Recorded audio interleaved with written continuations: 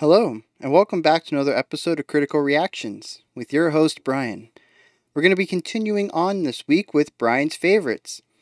A nice way to celebrate having done this for 52 weeks now, a full year's worth of content for you guys, and for me as well. I've got to explore a lot of awesome music thanks to all of your suggestions. Phenomenal work from everybody who's ever suggested anything, and this is a little celebration to bring back some of the stuff that I've enjoyed over the year but haven't had a chance to revisit, check out a second time. So today, we're going to be looking at Fleshgod Apocalypse. Now, these guys really interested me with the way that they utilized um, orchestral instruments into their composition, not as a way to widen or to to give their sound a more majestic feel, but actually in true symphonic classical music styling. The whoever composed the music for this has a knack for writing classical music and just happens to be in a metal band. And I think that combination works very well. Too often we hear strings just added for their flavor, not specifically to um, add any sort of nuance to the music itself. And these guys just did that in spades with what whatever we checked out last time. I don't remember the name of the song, um, but it definitely had an impact on me. And I think that's what's more important than remembering the song title is uh, the impact that the band had. So let's get this one going. This one happens to be called The Forsaking. And uh, yeah, let's do it.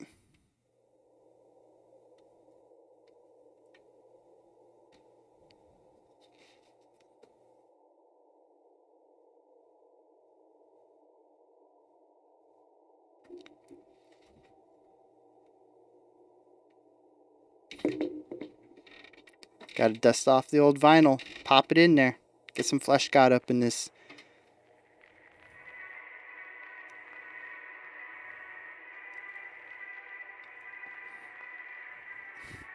The visual framing is phenomenal, knowing what's coming up.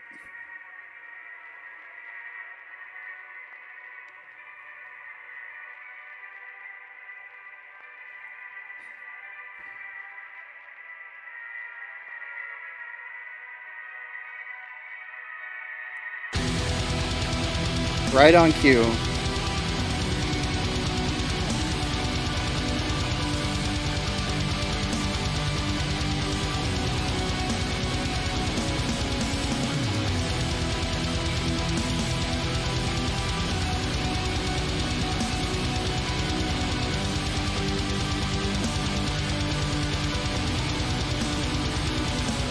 Watching that bass string move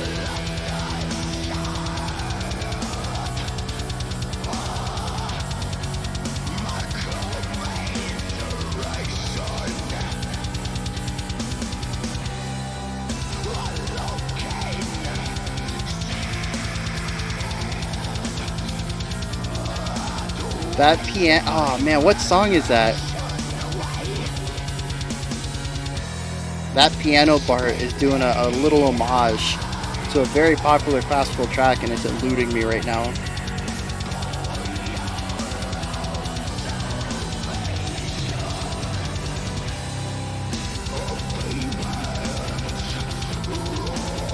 Fur Elise, is that what it's reminding me of?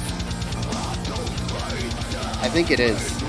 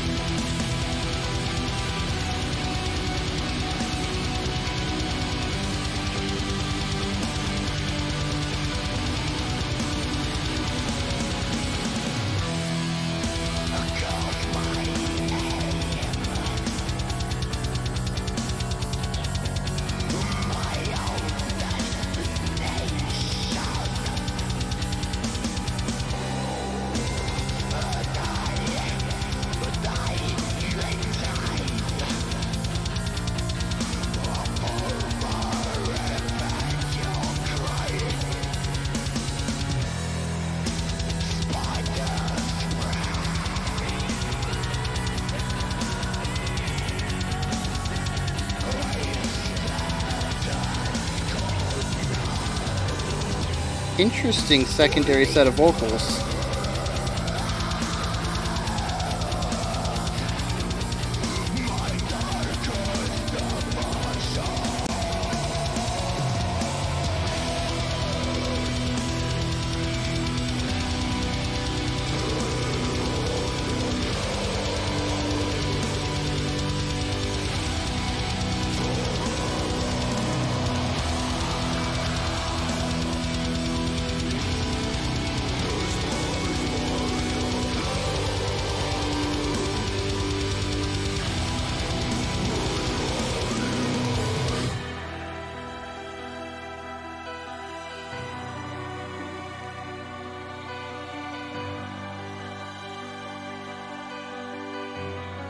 I really like this part. They ripped out all the metal distortion, but are using the same exact lines and showing how it's still, you know, classically uh, rooted.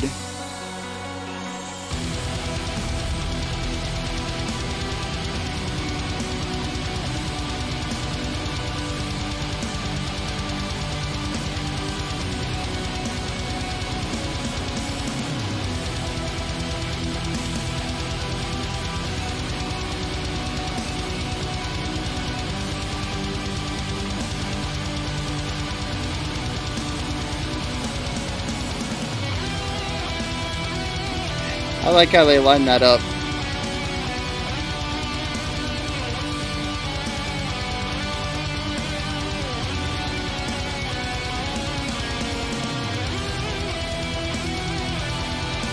Oh, nice little three field transition there.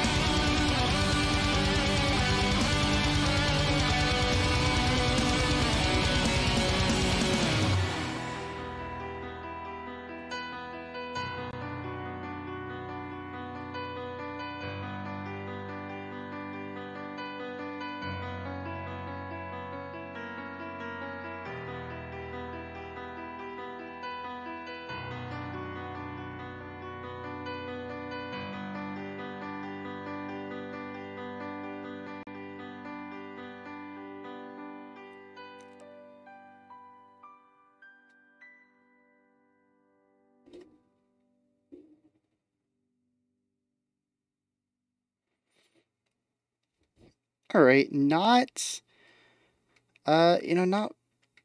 Unfortunately, it's not what I was expecting. It's not exactly what I loved about the other Fleshgod Apocalypse song we checked out. Uh, it does feature some of the strong elements that I enjoyed about them, but it's missing a lot of the technicality that I enjoyed from the last song. However, it replaces that with strong atmosphere and plenty of homage to popular um,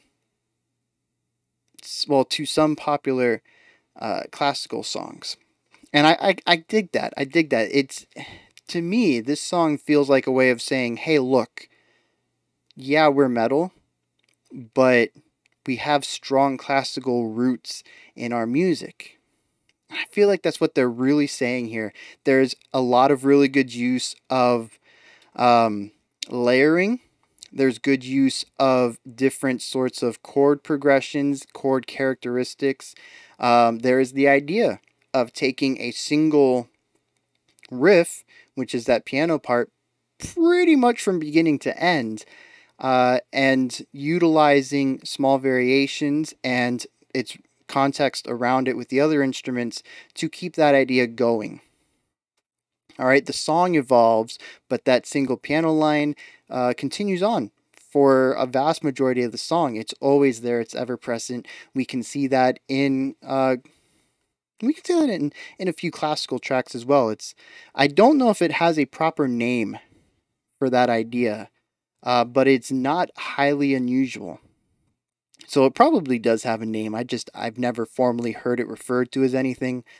Um, but yeah, so there's there's these cool little nods to classical music. There is strong classical composition in here, but the majority of the song is done with distortion. It's done with that crackly singing. It's it doesn't feel like it has enough pressure behind it to call it a scream or a growl.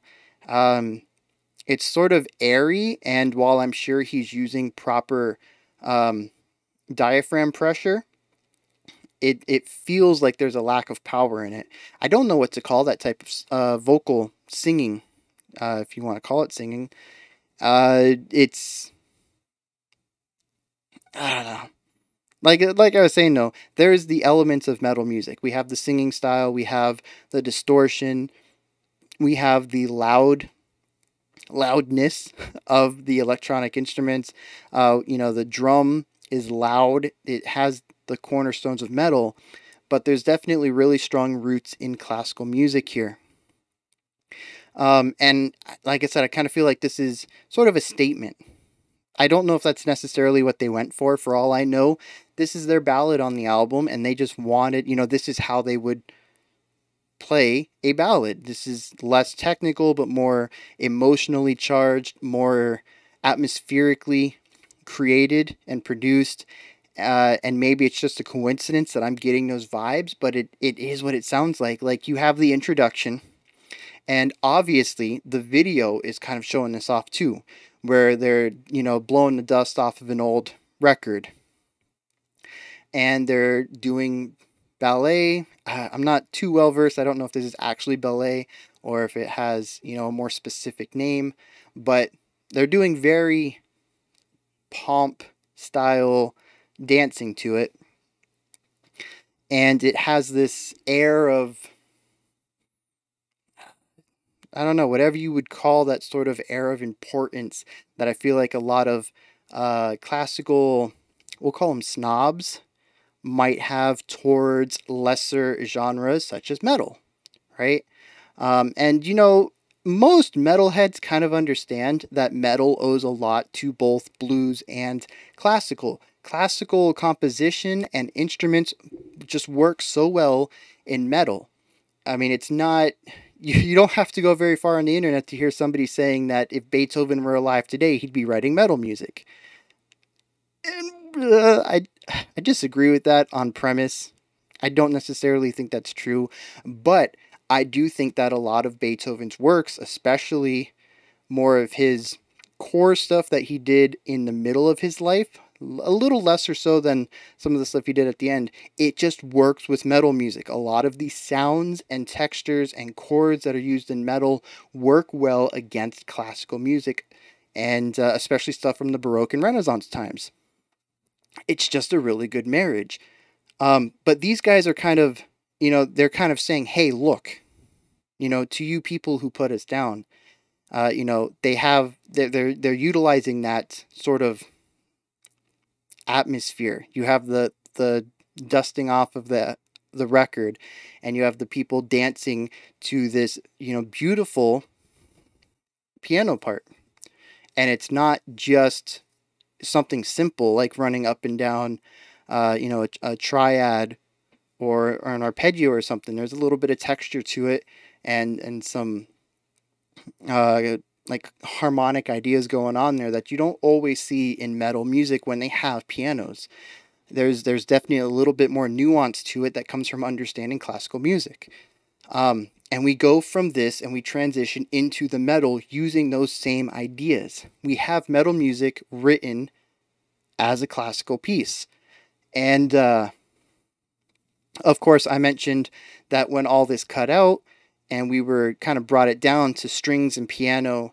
I I mentioned that they were utilizing a lot of the same melodic lines that they were utilizing right before the cut. It's just we dropped out the distortion. It's like saying, "Hey, you listen to the song, uh, and maybe you put it down for for being metal, for being too loud, for being too distorted. You know, my voice was was you know crackly, whatever, whatever that singing style is." He's like, "Okay, let's strip all that out and let's listen to the music." and it's gorgeous and it fits with classical composition and it has a very baroque renaissance i mean there's like a lot of nuances i should stop saying that there's a lot of nuance between baroque and renaissance they do have a lot of, i'm just going to call it baroque because i i'm pretty sure this is leaning towards baroque style writing closer to that anyways it is sort of an amalgamation between the two because that is kind of what we feel what at least what I when when people think of classical, in my experience, they're thinking of Bach and Beethoven and Chopin. Chopin. I'm trying to think of his time period. Dude, my music history has gotten rough since I left university. Um, but yeah, uh, you know, it, it, it, a lot of what we perceive as classical music is stuff that was written in the Baroque and the Renaissance time periods. They were kind of back to back. And of course, just like with all eras, they kind of meld together in the middle. There is no distinct line. Um, but yeah, so they strip everything back and they're like, see, look, this is good writing. And it's with the instrumentation, it's arranged as you would perceive it. All right, so now we all agree it's good writing. Let's bring that metal back. And then, you know, everything kicks back in. Uh, that's that's just kind of the narrative I got from it. Not to mention that the video does the same bait and switch, where we have, uh, you know, the very pristine, all white, very well uh, dressed, I guess you could say, more standard looking outfits, and uh, and then the demon dude comes in. I don't know, demon dude's kind of weird. He his his body is sprayed to uh, like a bronzish color and he's got the lipstick on. There's there's there's some makeup going on as well, um, but definitely less normal and more metal, more of a hardcore look. And then it ends with uh, you know coughing up blood. A lot of uh, the more hardcore metal stuff has gore in it. Um, as far as visuals, you have stuff like GWAR and everything that kind of expanded from them. I know it's kind of a dated reference, probably. Um, but you know, you have the gore in it, and then you have the unsettlingness of the dude, uh, you know, licking the blood, and um, and you know, we have this transition from the proper and pristine into more metal visual visual vis, visuals. Don't know why I couldn't say that.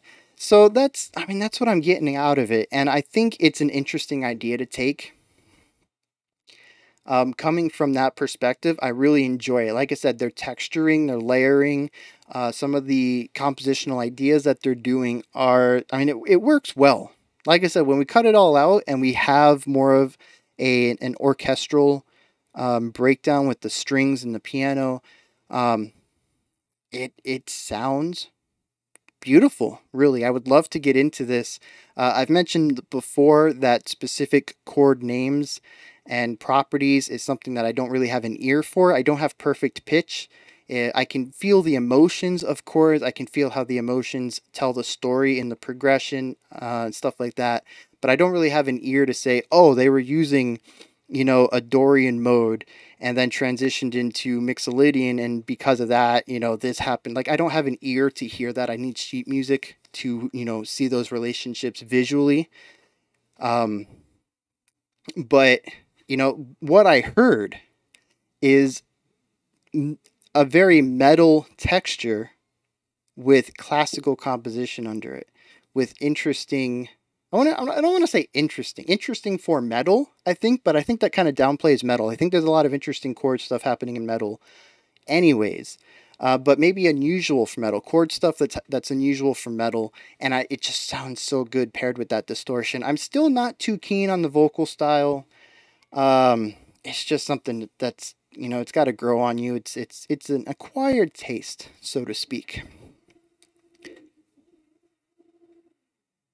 I don't know if you can hear that, but this dude's revving his engine real hard out there. no idea why.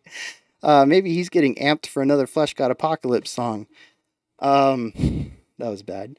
Uh, dad joke. All right, so that's pretty much what I have to say about it, though. I really enjoy a lot of the composition going on, um, but I kind of wish there were more. I like more technicality in them, and they really brought that technicality to the table last time. I know they can do it. I know they got it in them. Um, their layering is phenomenal, even better than what was on display here, if I remember correctly. And that's just kind of more of what I wanted. Now, as usual, this is a lot to do with headspace coming into a song. I'm a little disappointed with it because I was expecting something totally different. Okay, that that that can happen on first listens. now that I know what it is coming in again, maybe if I check out the album and I'm like, oh, okay, the more ballady thing is coming up and I can be in the right headspace for that and meet it on its own terms, I might enjoy it more. All right. And definitely there's a lot going on in the textural layering as far as the chords are going and all the instruments. And I mean, they do a phenomenal job making sure that all these instruments can come into play and create that atmosphere without anybody stepping on each other's toes. And that is just amazing that they can do that so effortlessly, so often, right? I've only listened to two songs, but I can't imagine that most of their discography is like this. Um, so I'm not putting down the song at all, and I'm sure there's a lot of nuance I missed, especially since I did have a music video stealing my attention occasionally. I've mentioned before, I, I think a lot of people do it. When you're just listening to the music, it's a lot easier to pay attention to the music, but when you have a visual thing, at least for me, my attention gets stolen every once in a while, I you know I'm looking at him like, oh wait, dude, you got to be listening to music. You got to drop an analysis soon. I'm like, all right, I'll look away. But you know, it sucks you back, and you're like, what's going on in the video? So yeah, there's definitely some nuance I missed in it, and I wasn't in the right headspace for it. So yeah, that's a little unfortunate. But like I said, I do appreciate what's going on, and I look forward to again checking out more Fleshgod Apocalypse in the future. Hopefully, something a little more technical. That's my thoughts on these guys, though. This is where you get to come in. Let me know what you thought. Hit me up in the comments. If you think my analysis is right, maybe they have put out an interview and maybe I'm spot on. Maybe I'm way off. Maybe they had no intentions of doing this little bait and switch. I don't know. I don't know. But, you know, if you have any information about this uh, specific song, let me know about it any recommendations for tracks I should check out next. Like I said, specifically, I'm looking for something a little more on the technical side. I don't necessarily need the speed aspect, just the writing needs a little bit more mechanical oomph to it, I think. Even a little bit more compositional oomph. This one kind of only had like two states to it, and uh, it was really good at creating that atmosphere, but it was also six minutes of like two ideas kind of bouncing back and forth, so I, I, I kind of need just a little bit more movement as far as that's concerned. If you know anything that fits that bill, drop it in the comments. There's also a description box above that if you'd like to check out any adjacent links. Maybe you want to check out check out videos that YouTube has blocked. I got a list there of all of them. You can go watch them. Uh, if you watch the Devin Townsend one this weekend and you, I mentioned that we checked out Deadhead and you can't find it, that's because it was blocked, man. Hit up that link in the description. Uh, there's also a link to the Patreon if you'd like to join the Discord community and vote on future bands and themes. That's the way to go about doing that. It's only $1 per month, which is a pretty good deal, in my opinion. I'm a little biased. I made the deal, but I still think it's pretty good, right? A dollar a month. Um, yeah, so that wraps this one up. Oh, like, subscribe, and ring the bell. I kind of hate pushing that, but I got to, right? It's stupid, but it drives more subscribes and that helps me get boosted in the algorithm and then more people can see the stuff and i mean that's what i'm here for right you guys let me know about music i let you guys know about music and it's like a way for your voices to be amplified on a larger platform to get some of these cool bands out there so other people can know you hit up the, the comments in any of these videos and you'll find at least one person who's like, "Oh yeah, that's another band that's on my wish list," or "I just picked this up, never heard of them before." Like that's what we're here for, to spread the good word of music. I think I'm starting to sound like a church. All right. Uh, I'll be back tomorrow, 5 p.m. Eastern Standard Time, 10 p.m. UTC, with the start of the random selected songs from this week. Tomorrow, I think, is the random song from the more popular of the votes. Thursday will be the random song from the lower end of the votes. And Friday will be my personal pick, which I am greatly excited for. It's kind of a cheat. We haven't checked out the band before, but we've checked out a band with all of the band members in it. They just have a different name now. So I'm pretty excited about that one. Uh, yeah, that's that's gonna be good. That's gonna be good. All right, so until then, though, you guys have a fantastic morning, afternoon, or evening. I can't even do my sign off. Until then, you guys stay safe out there. Have a fantastic. Until then, you guys stay safe out there. Keep being awesome. And have a fantastic morning, afternoon, or evening whenever you choose to watch my videos. Golly, why couldn't I get that out?